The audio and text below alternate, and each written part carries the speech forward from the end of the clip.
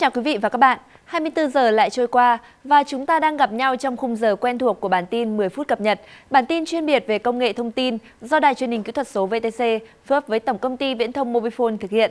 Bản tin hôm nay ngày 13 tháng 10 sẽ có những thông tin đáng chú ý sau.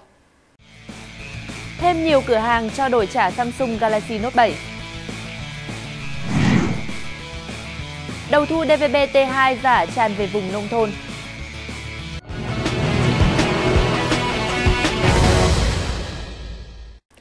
Hiện tại, Việt Nam có khoảng 5,5 triệu thuê bao băng rộng cáp quang đến tận hộ gia đình và số lượng thuê bao này vẫn đang tiếp tục gia tăng đáng kể.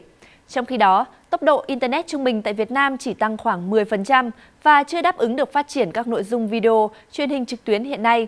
Đây là nhận định được các chuyên gia quốc tế đưa ra tại hội thảo Hội đồng FTTH châu Á-Thái Bình Dương Việt Nam vừa diễn ra vào sáng nay tại Hà Nội.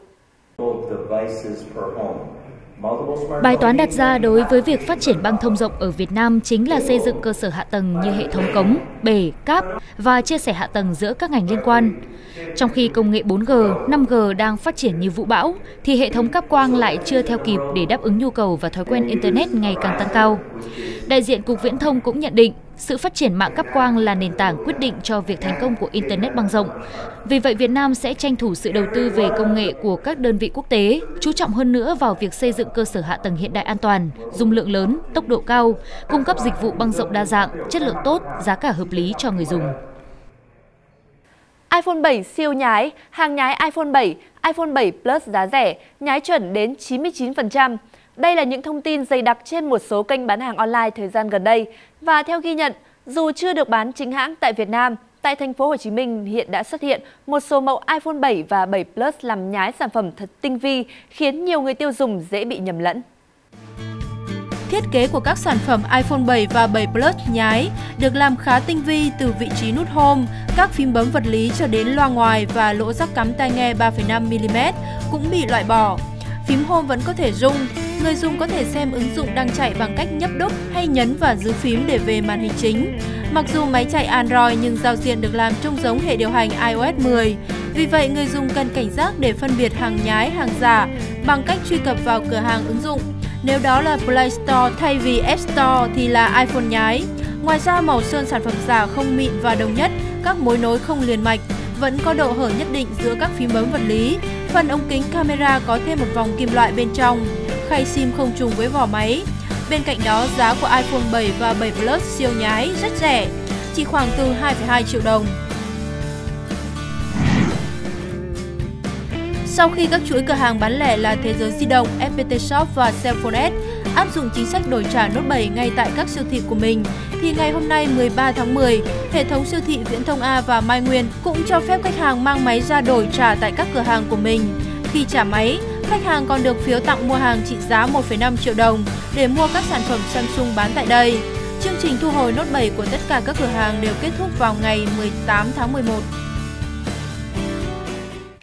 Theo số liệu của hãng nghiên cứu và phân tích toàn cầu khu vực châu Á-Thái Bình Dương Kaspersky Lab, hơn 50% người tham gia khảo sát tại Việt Nam lo lắng về lừa đảo ngân hàng trực tuyến và 57% thường lo về khả năng dễ bị tấn công khi thực hiện giao dịch ngân hàng trực tuyến.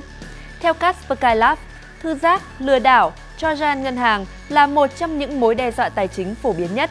Vì thế, người dùng nên chú ý đến các trang web giả mạo, những email lạ yêu cầu cung cấp thông tin về tài chính, tránh truy cập vào các đường dẫn lạ và cẩn trọng mọi lúc khi truy cập các trang web. Thưa quý vị và các bạn, mặc dù chuẩn phát sóng kỹ thuật số theo công nghệ DVB-T2 mới được đưa vào sử dụng chưa lâu, thì trên thị trường hiện nay đã xuất hiện khá nhiều đầu thu giải mã tín hiệu giả mạo công nghệ này. Không chỉ tại các thành phố lớn, mà vấn nạn đầu thu giả mạo đã lan về tới vùng nông thôn, ghi nhận của nhóm phóng viên VTC. Đây là hai đầu thu kỹ thuật số DVB-T2 có cùng nhãn hiệu VTC Digital.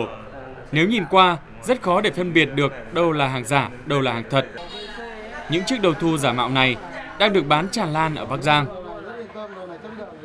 Em ra cửa hàng mua đấy em chả biết là đầu nào là như nào cả. Thì đến cửa hàng thì tư vấn thôi, em cũng chưa phân biệt được đầu nào đầu thật, đầu nào đầu giả cả. Theo Chi cục Quản lý thị trường thành phố Bắc Giang, vấn nạn giả mạo đầu thu nói chung và đầu thu VTC nói riêng vẫn đang diễn biến hết sức phức tạp. Chỉ trong vòng chưa tới một tháng, đơn vị này đã phát hiện và thu giữ hai lô hàng đầu thu giả VTC với tổng số lượng lên đến gần 240 bộ. Trong khi đó, đại diện tri cục Quản lý thị trường thành phố Bắc Giang chia sẻ, việc phát hiện và xử phạt hết sức khó khăn. Những cái đối tượng vi phạm về đầu kỹ thuật số nói riêng và những loại hàng giả khác nói chung thì rất phức tạp vì đối tượng dùng nhiều thủ đoạn tinh vi để che giấu. Ví dụ như dùng các cái phương tiện nhỏ và giấu kỹ vào trong các cái phương tiện để tránh sự phát hiện của cơ quan chức năng. Và các đối tượng thì thay đổi các cái lịch trình hoạt động, vì vậy là rất khó cho cái cơ quan thực thi pháp luật. Hàng giả là các cái công tắc nguồn này này. Đấy thì còn à, của VTC là không có cái công tắc nguồn này.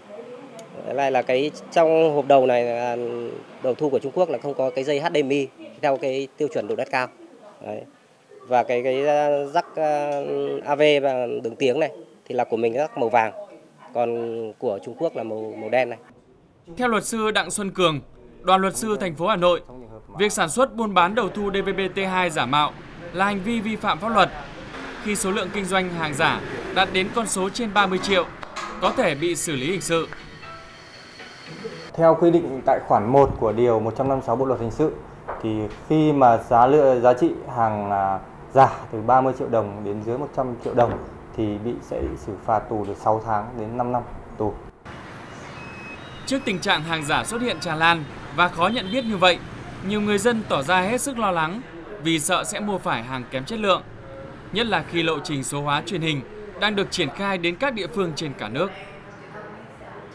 Thông tin vừa rồi cũng đã kết thúc bản tin 10 phút cập nhật ngày hôm nay.